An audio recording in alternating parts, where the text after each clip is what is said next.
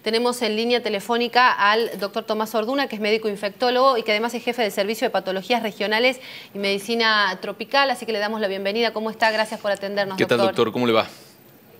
¿Qué tal? Buenas tardes, un saludo para ustedes ahí en la mesa y a la audiencia de la Gaceta. Muchas gracias. Doctor, bueno, ¿cómo está observando este panorama a nivel nacional ¿no? y a nivel mundial eh, con respecto a, estos, estos casos en aumento?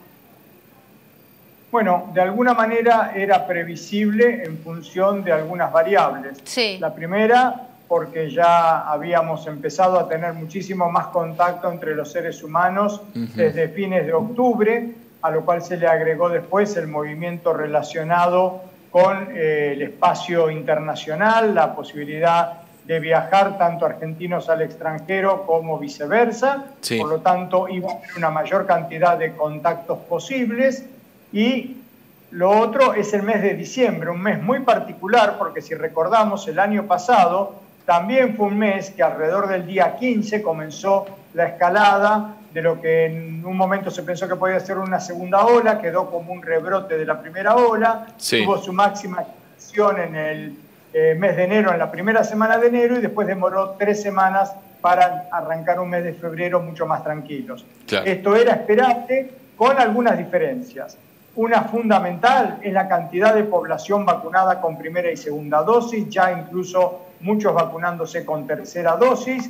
Por lo tanto, está habiendo una diferencia significativa respecto de los otros momentos eh, de mucha tensión. Este todavía, la verdad que no tiene tensión, pero obviamente los casos van a seguir aumentando. Como usted mencionaba, inicialmente todo traccionado por Delta, veremos qué pasa con Omicron, pero fíjense que la cantidad de casos graves en terapia como de fallecidos, pero tampoco es solo por suerte, sino por un esquema de vacunación que está siendo eficaz, hace que podamos infectarnos, pero difícilmente uno pueda enfermar de manera grave o ir a terapia si tiene su esquema completo. En las terapias prácticamente un 70% o no tienen las dosis requeridas o tienen una sola. Por eso abogamos tan poderosamente a la vacunación, porque es la primera eh, eh, situación que tratamos de evitar con la vacunación es la muerte. O sea, ese es el objetivo primario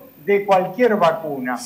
Entonces, vacunarse implica eso, no morirse, no enfermar de manera grave, pero puedo volver a infectarme. De hecho, en el mundo entero hay personas con tres dosis de vacuna infectándose con Delta y mucho más fácilmente incluso con Omicron. Y, el transcurso de la enfermedad de, una persona que ya tiene las dosis de la vacuna, por lo menos el esquema completo, es totalmente distinto a aquellos que se, contagian por primera vez, ¿no? La mayoría cursa un cuadro leve, algunos pasan a lo que llamaríamos moderado, con muy poca repercusión sistémica. Por eso también es importante en la medida en que tenemos que tratar de tener mucha alerta, que basta que yo tenga un poco de resfrío, una molestia en la garganta, no mm. me siento del todo bien, eso es la condición para que yo tenga alerta, busque un centro de asistencia para que me testeen, porque en una persona vacunada esa escasísima signo-sintomatología puede ser exactamente igual a estar infectado. Y el mm. problema es que yo voy a poder excretar virus y contagiar a otros. Claro. Doctor, le hago una consulta vinculada con las vacunas. Eh, eh, uno ahora, al, estar hablándose de tanto de Delta como de Omicron, eh, bueno, hay, hay como mucha información dando vuelta respecto de la efectividad de las vacunas. con segundas dosis, ¿qué nivel de protección tenemos? Y con tercera dosis, ¿qué nivel de protección tenemos para estas variantes?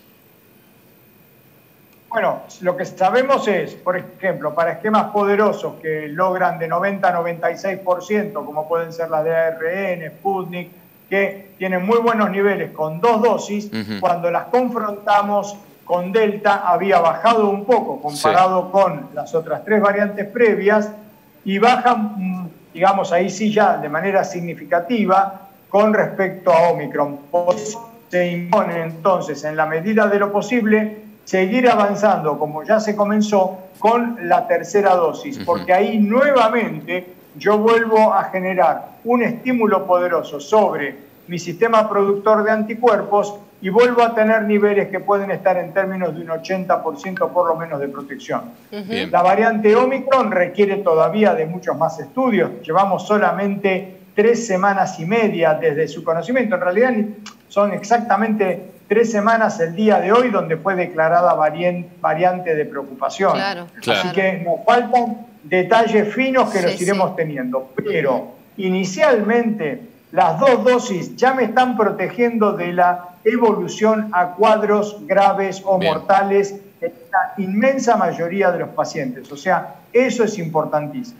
Doctor, le quería consultar a propósito de una situación que se ha generado acá en nuestra provincia y, que tiene que ver con eh, los efectos adversos de la vacuna. Acá en Tucumán ayer se ha denunciado el fallecimiento de una chiquita que los padres dicen y la familia relacionan que, tiene que ver con eh, bueno, la vacunación. Ella se colocó una dosis de Sinopharm y al día siguiente fallece. Obviamente todo esto está siendo materia de investigación y demás, pero lo que quería saber es si, usted tiene conocimiento de casos reportados justamente eh, en, Buenos Aires y, o, hay preocupación respecto de este, de este tipo de situaciones? Mire, yo creo que evidentemente, como usted menciona, hay que hacer una exhaustiva investigación epidemiológica, clínica.